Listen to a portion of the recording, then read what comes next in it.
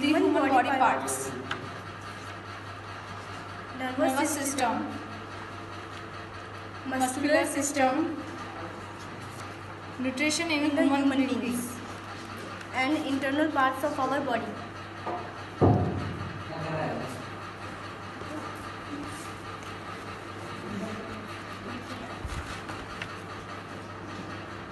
Here is lungs, this is rib cage and heart, and here is the digestive system. And this part is called as pelvis. This part is called stack.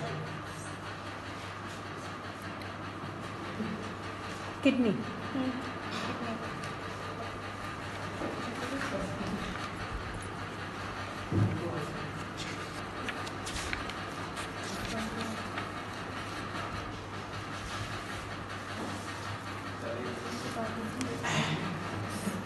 This project eats lungs.